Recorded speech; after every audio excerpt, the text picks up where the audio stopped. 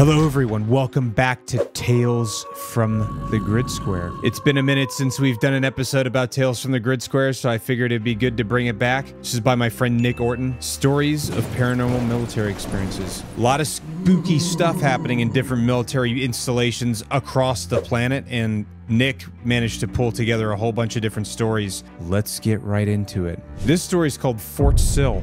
U.S. Army vet in April 1966, I arrived at Fort Sill, Oklahoma, and was assigned to the MP company working out of a correctional facility. On my first night there, I was given a barracks room in this old building, and I felt strange while I was living there. I had nothing, just the military gear I traveled with, no TV or radio. For most of you that don't know this, if you've never been in the military, like when you get a barracks room, it's empty. There's nothing in there. There's like some wall lockers. There's probably a sink, like a toilet, hopefully a toilet that's not leaking and flushes. Electricity off lights and a bed, probably with no sheets on it. Probably not even a pillow, just like a mattress. It's probably going to be a dirty mattress. I unpacked and prepared my uniform for the next day off in, in processing, shined my boots, and decided to go to bed.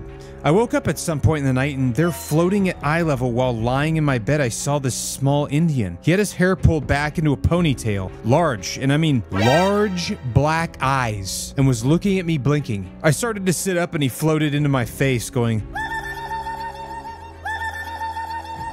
if you would hear Indian calls on a movie, in parentheses. I don't know what that means. I took swing at it, and it floated back. And then as my hand went by, it did it again.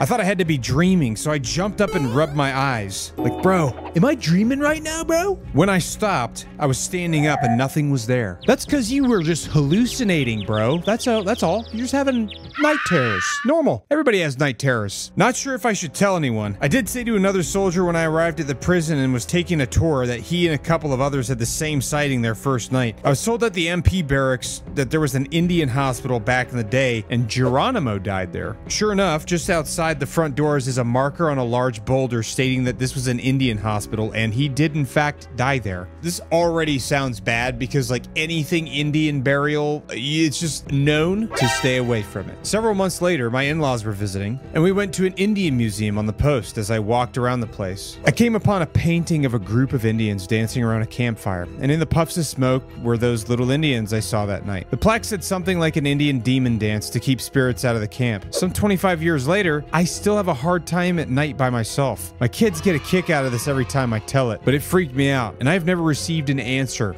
to what it was. And you probably never will, because there's no explaining it. Anyway, next story. Skinwalker on Fort Hood. Oh boy, my favorite. We were occupying a range on Fort Hood and bivouacked at a nearby OP. Oh, by the way, I know they renamed Fort Hood Fort Cavazos, but it says in this book, it says Fort Hood, so I'm just reading it word for word out of the book. We had all gone to sleep and our setup amounted to a gypsy camp, which means that everything was like all over the place. People had tents set up in random places. I'm sure that somebody had a hammock. There's always one dude with a hammock. I was asleep in my hammock. Oh, what a surprise. what a surprise. Of course, you're the dude with the hammock. I was asleep in my hammock when I was awakened by a soldier wearing ACUs. This was right at the time of the wear out date, so it wasn't too unusual. I looked at him a bit disoriented from waking up and he stared at me speaking in complete gibberish. The next morning I awoke and told my battle buddies about what I thought was a weird dream. Yeah, so the army, like the U.S. Army, was, went through a period of time where they were transitioning between OCPs, which is like the multicam pattern, right, and like a gray-looking concrete colored digital camo pattern for a long time that everybody made fun of because it didn't blend in with anything except if you were laying on like a concrete basketball court. But they were in the process of transitioning over to the OCPs, and they were giving people like the opportunity to exchange so they could go and change into the new ones because they were probably making everyone pay for them more than likely. Anyway, they all proceeded to tell me that not only had they come in contact with this unknown soldier, but he also tried communicating with them. My first buddy proceeded to say how a trooper in ACUs woke him up and asked him to follow the unknown soldier into the supply tent. My buddy, being super agitated at being woke up, told him to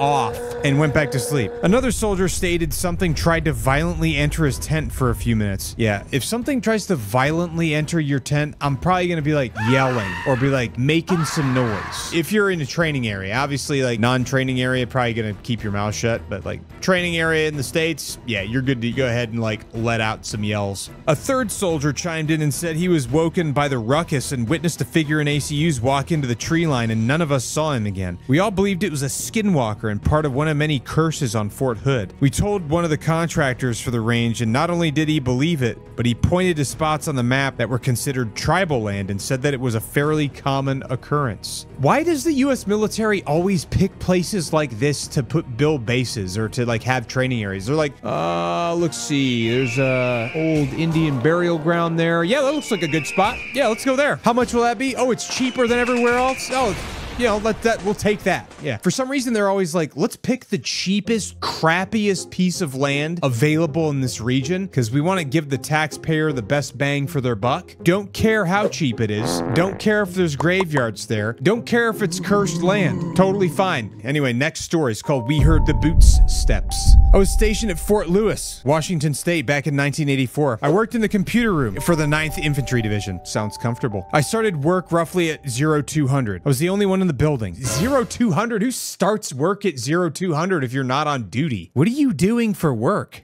Uh, I'm looking at porn. I was the only one in the building. This building was a common converted old barracks. Two stories, a long building with a restroom at one end. The computer room was downstairs at the other end of the building from the latrine. For those of you that don't know what a latrine is, it's the bathroom or el baño. One night I was running my programs, blasting the loud music, 80s music, and everything was normal. I heard boot steps upstairs, heavy boot steps, like the sound of jump boots. The steps started at the opposite end of the building and stopped above the computer room. And this is the beginning to every horror movie where the guy's like, hmm, maybe I should investigate that strange noise that I probably should just ignore and pretend didn't happen. Being the curious young soldier, I went upstairs to see who came in early. This was about 0230-ish. I looked upstairs and no lights were on. That's your first problem. I turned on the lights and went upstairs. I checked everywhere and I did not see a soul. I went back to computer room and went about my business. I did not feel creeped out or afraid. I told my NCO the following day. They said it was the building settling. I know the difference between a building settling and a boot steps, but decided not to pursue it any further. Again, I was very comfortable with the situation. I would occasionally hear the boot steps, but just ignored them. Just ignoring boot steps above you, like where you're like, that's obviously somebody stepping and walking. Okay. Months later, I had a recruit working the shift with me so I could train him. Sure enough, we heard the boot steps. The new guy was creeped out by it. Me being a smart, I cranked the music loud. I told him, let's piss off the ghosts. Great idea. They were probably letting you chill since you weren't messing with them, but you're like, yeah, let's, uh, let's give them a hard time, see how they react. Then the boot steps stopped right above us, and we heard a loud bang, as if a desk was turned over on its side, right above us. Don't mess with ghosts, bro.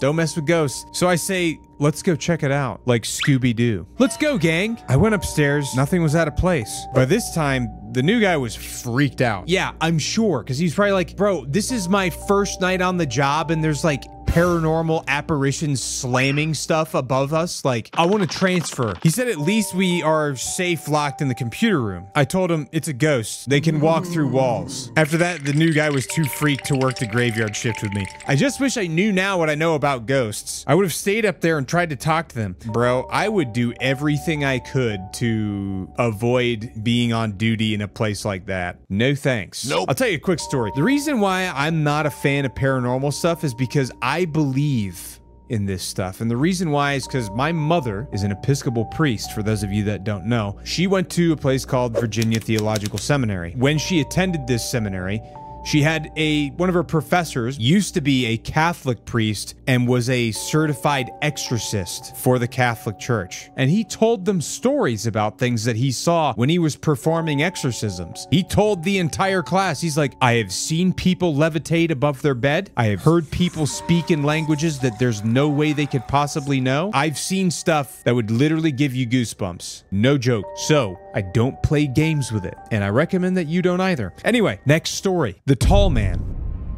Nothing exciting. We'd set up a patrol base in a wood line at the bottom of a decent sized hill. This was mid pandemic lockdown, and the chain of command had decided that sentries would still go out in pairs, but would have to be spaced two meters apart. The way the ground fell on my section's position meant that I might as well have been by myself. It was too far to even whisper without someone hearing you, so we mostly kept ourselves. A patrol base is like, it's not really a base. Can you turn buildings into a PB? Sure. But typically, like, if you're in the tree line, like what they're describing in this so far, it's like you just got guys that are lined up with sectors of fire in maybe a triangle or a shape of some kind. It's typically a triangle because it's just easy to, easier to control. And it's just a place that you set up security and everybody beds down in that area and you like set up that area with like a small CP and you push security patrols out to make sure that it doesn't get detected by the enemy. Anyway, about halfway through my shift, I saw a shadowy figure stand up at the top of the hill. I was tempted to call a stand to, but I noticed he wasn't armed and in any military gear. No helmet, no webbing, no armor, Nothing. Eventually, I blinked, and he was gone. It was just a silhouette of a very tall man.